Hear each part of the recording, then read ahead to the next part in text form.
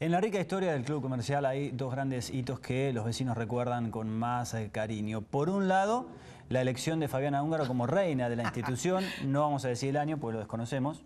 Eh, 1982. 1982. Y luego, algunos años antes, en realidad, el ascenso al torneo nacional, que también se lo recuerda con muchísimo. mucho cariño. Vos sabés, las caravanas dentro, yo me acuerdo tenía seis años, eh, las caravanas dentro del pueblo cantando la gente soy del puerto, soy del puerto, y uno de los ídolos máximos es el señor que está con Fernando Rentería. Efectivamente, yo me doy el gusto de estar con la reina y el señor Fernando está con uno de los próceres de aquella gesta. Fernando. Muchas gracias. Eh, de- Deseamos que nos guardábamos un poquitito la expectativa para sorprender a la gente a partir de este instante nada más. Estamos en el césped de la cancha de comercial con Hugo Greco. A 40 años, en algunos días nada más, en este mes de mayo se cumple 40 años de aquel momento histórico. ¿Cómo le va? Buenos días. ¿Qué tal? Buen día. Y ante todo, eh, un feliz día para el Día del Trabajador. Igualmente. Eh, gracias. Bueno, eh, recién teníamos y contábamos un montón de anécdotas, yo las he escuchado obviamente, jugosas, pero qué momento, yo hablaba de precursores, porque ahora estamos ya por ahí en otra época donde vemos más seguidos equipos en la B, en la A, los torneos del interior. Bueno, para aquella época había que trabajar, jugar un montón para llegar a algo que era este, eh, una expectativa enorme, era muy difícil llegar ahí. Era muy difícil porque yo salía a las 7 de la tarde de trabajar y acá entrenamos en invierno a las 20 horas hasta las 10, 10 y media. Trabajaban todos, no era ninguno profesional. No, no, no, todo. Profesional en el juego, en la actitud y en el compromiso, pero no en el resto. ¿no? No había nada. Pero, y bueno, terminaba con eso frío en invierno, era tremendo. Y, pero con unas ganas tremendas por el club. Y tengo muchas anécdotas. Después, los jueves en los asados. Te comento, eh, Atila Misora en ese tiempo fue presidente. Y bueno, y todos los jueves hacíamos asado. El que faltaba ya le poníamos la tarjeta roja. Eh, y bueno, perdón, Sí, sí, sí, sí, no hay problema. perdón. eh, y bueno, un jueves a la noche aparece Átila con un caniche blanco. Claro, y lo, viste, lo- no la veía mesa, eran todos ta- tablones largos. Y el perro pasaba por abajo nuestro. Al lado mío estaba Titín Lugones, Norberto Ares. Y estábamos comiendo el asado. Y el perro pasaba por abajo nuestro, pasaba. Nos pegaba en la rodilla. A Tití también. Bueno, todo lo que estamos yo. Iba y venía el perro. Entonces me dice Titín Lugones, Hugo, ajo, agarrarlo de la cabeza al perro, que yo le aprieto la cola, así no viene más. Bueno, bueno en un momento pasó otra vez el perro, yo lo agarro la cabeza. No me gusta porque me gustan los animales, pero en ese tiempo era joven. Y el Titín lo agarra la cola, pegó un aullido y salta el Átila, el presidente. Ahí, ahí el Titino y el Laco. ¿Qué le hicieron al perro? Claro, pegó un aullido tremendo. Y al rato lo vemos al perro en UPA con el presidente, Átila Misora, y comiendo el asado con el perro. No bajó más en toda la noche y no lo trajo nunca más. Era un grupo, me imagino, unido. eh, ¿Y cómo se llega a esa final con, con el equipo de Junín? eh, que fue el, pase al Nacional. Eh, ¿Recuerda los nombres? ¿Recuerda a- alguno de los momentos de esos partidos? Sí, sí. Eh, comercial yo lo conozco. comercial, la campaña que hizo comercial, eh, todo con club de, todos los chicos del club. Acá había una cantera grande, como hay ahora. Por eso me gusta, eh, hay algunos que no les gusta este campeonato. Pero para el club sirve, porque ponen a todos los pibes. Comercial está jugando con todos los pibes. Y eso es mi idea. No, no, no es como ascenso y descenso, que ahí ya que otras tener presiones y demás. Y no estoy cuando el año pasado, porque soy voy de frente. 15 jugadores trajeron. Y los chicos de acá, 18 años, 19. ¿Qué hacemos?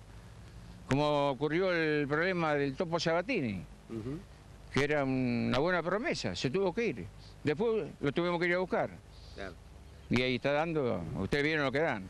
seguramente. Eh, ¿qué- el primer partido se jugó acá. El primer partido se jugó Con acá. Junín. Sí, se perdió 1 a 0. Eh, yo no pude jugar, estaba loco ahí arriba en la tribuna. Después, bueno... La revancha fue allá. La revancha fue en la cancha de Sarmiento de Junín y fui infiltrado. Bueno, ahí ganamos... Había que jugar sí o sí. ¿Eh? Había que jugar sí o sí. Y era, un- era bravísimo. Tenían unos jugadores tremendos. Vilche, que fue periodista deportivo, Gironacci, que jugaba en River, un tal Cabaña que venía de Paraguay. Bueno, pero nosotros teníamos buenos jugadores. Y ya teníamos a Solí, con una experiencia tremenda, que también debo reconocer que Huracán fue un gran equipo y que tengo grandes amigos. Y él de ahí nos dio varias experiencias. ¿Quién era el técnico? El técnico, eh, eh, Roberto Inesi, un fenómeno el Cholo, sí, sí. Eh, éramos un grupo unido, por eso llegamos, pero con grandes jugadores, Enrique Decker, Francisco, Nani, Juan Carlos Nani, y atrás tenemos Jiménez, Pocho Núñez, un buen arquero como Romagnoli, Titi Lugone, Abel Daño, ahí para nombrar el Nene Anselmi. Bueno, el chico después jugó acá también. eh, Anselmi, ¿puede ser? Anselmi jugó- nació acá. Uno de los goles de la final lo hizo usted. El primer gol a los 14 minutos, sí. Porque yo no era goleador, ¿eh? era un puntero veloz. Era el famoso win. Famoso güey como... Sí. Sí, sí. Hoy casi desaparecido, casi. Hay alguno que por ahí juega ahí. Claro, hoy avanza más el carrilero, ya, ya no hay win, no hay enganche. Solamente Riquelme, yo soy de River, pero es un gran jugador. Y aparte ídolo de Boca, y yo pienso que con el tiempo va a ser presidente del club. Mirá. Estaban en estudio Fabián y Agustín seguramente compartiendo estas sabrosas anécdotas y recuerdos y ellos también deben Bueno. recordar algo porque recién decíamos la importancia que ha tenido Ingeniero Guay con Huracán y con Comercial en aquella época, fines de los 60, principios de los 70, en llevar eh, el fútbol de esta región a, la- a nivel nacional, ¿no es cierto, muchachos? Sí, esto. ¿Con quién estoy hablando? Con- Está Fabiana y Agustín allá en estudios. Eh, Fabián, eh, ahora es hincha Olimpo, pero creo que la madre nació en el Boulevard. No, el- pero eh, comercial lo tengo siempre en un lugarcito de mi corazón. Ah, Hugo. ¿Cómo bueno. estás? ¿Bien? Bueno, ¿Cómo estás, Fabiana? Bien, Muy bien. bien, además yo re- recién decía que si bien yo era muy chiquita me acuerdo de esos Sí. festejos y sabés que me acuerdo de un pescado gigante de 6 metros más o menos sí. que habían hecho, mira, lo tengo anotado, lo había hecho Semilla Na- Nataliquio, eh, Rubén y Omar Santo, el negro Sartó, Bueno. vos te acordarás de ese pescado, Me que era el símbolo del festejo. Pero vos sabés que era inmenso el pescado y, y jugamos con eh, Enganche Olimpo, Sí. con Rosario Puerto Belgrano. Y lo veo el pescado adentro, pero si era inmenso, no sé cómo lo entraron. Dice que lo pasaron por la soga por arriba de la- del paredón. Por abajo creo que no entraba, ¿no? No, no, no que entraba, no entraba, no, no, no. Y debo decirte también, recordar y darle muchas gracias a, a la hinchada que jamás me insultó, no, siempre me alentaron, jamás me insultaron. Por eso quiero un reconocimiento a la hinchada comercial. Pero además hubo todo un pueblo estaba detrás de, te- de ese equipo, todo el pueblo festejaba en las calles. Sí, sí fue, eh, cuando venimos de, de Junín, lo que era esto a la noche, no, no, era increíble. Las caravanas ya nos esperaban allá en Porpigüé y yo no lo podía creer. El logro que habíamos eh, haber hecho. Y ahora con los años voy reconociendo, porque no lo valoraba, ¿viste? Claro. Y en aquel momento, ¿qué expectativas tenían en el torneo de primera? Cuando llegaron, que jugaron con Boca, que jugaron con los equipos más importantes. ¿Qué expectativas? ¿Ustedes eh, sabían que estaban en la misma categoría? O sea, ¿dieron eh, valor a eso? Eh, no, no, no. No porque... Había se- mucha diferencia, ¿no? Eran profesionales. Lo que pasa es que salimos campeones de acá como huracán. Y después fuimos a Buenos Aires. No, no, no pasamos como ahora por un campeonato en la B y uno se va adaptando. Claro. Y con el mismo equipo. Claro. La diferencia que yo encontré es la preparación física. Lo Claro. pasaban por arriba. Ahí estaba la diferencia. Que hoy, eh, ya por lo menos eh, estoy viendo Olimpo que está, aparte que está jugando muy bien, eh, se fue adaptando a la B. Claro. Y hoy ahí está en la pauta lo que está jugando. En aquella época las diferencias eran mucho más grandes. Era, y, y vos agarrabas un Kempe, un Ardile, se- Claro. te mataban, corriendo, claro. Esa es la diferencia que había, no, no, no teníamos experiencia. Pero se le ponía mucho corazón, Hugo. No, eso siempre, ¿eh? sí, sí. Acá la camiseta de comercial siempre la transpiramos. Y te cuento más, eh, en ese tiempo estaba Go- Gorer, presidente de la Comisión de Olimpo, y me quería llevar a Olimpo, lógico. Y me daban un sueldo, me daban un buen trabajo en el banco. Y no me quise ir, porque me parecía que traicionaba a mis compañeros acá, porque yo nací acá. Y esta es mi casa. Han cambiado algunas cosas, ¿no? Y te cuento otra más. Eh, fui a Chacarita. Cuando voy a hacer el contrato me vuelvo. Y me dice, ¿dónde vas, loco? este?". No, extrañar a mi querido pueblo y a mi querido comercial. Venga, antes que nada, venga, Hugo, venga para acá, así por si no nos va a dar el sol, lo vamos a ver y queremos que esté, bueno, aquella gran tribuna este, de fondo, donde estaba esa hinchada que tanto, que tanto aguantaba. Venga, Hugo, para acá, si no le damos la espalda al turco. Acá está.